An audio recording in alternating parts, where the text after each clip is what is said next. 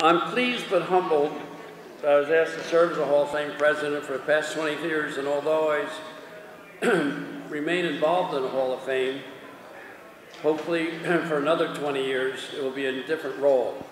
Recently, the board accepted my resignation as president.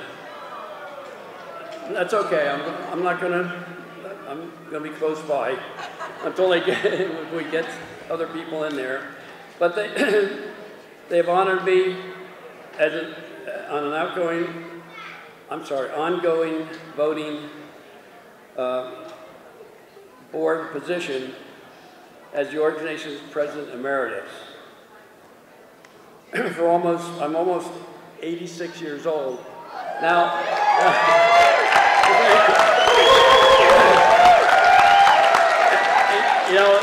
younger, when you're younger, you say, I'm six and a half, seven and a half, eight and a half. When you get to be 80, you say I'm 81 and a half, 82. So I'm 85 and a half. But anyway, it- it's been a great ride. Uh, I've had a total enjoyment this. I, I feel everybody out there is my family. And uh,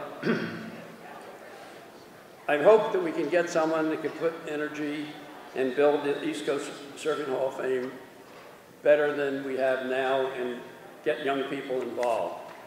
So, thank you very much.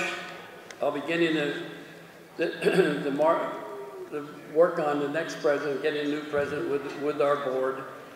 And anybody out there would like to volunteer, send us some kind of a, a resume or something, put it on East Coast Surfing Hall of Fame.org and we'll get it.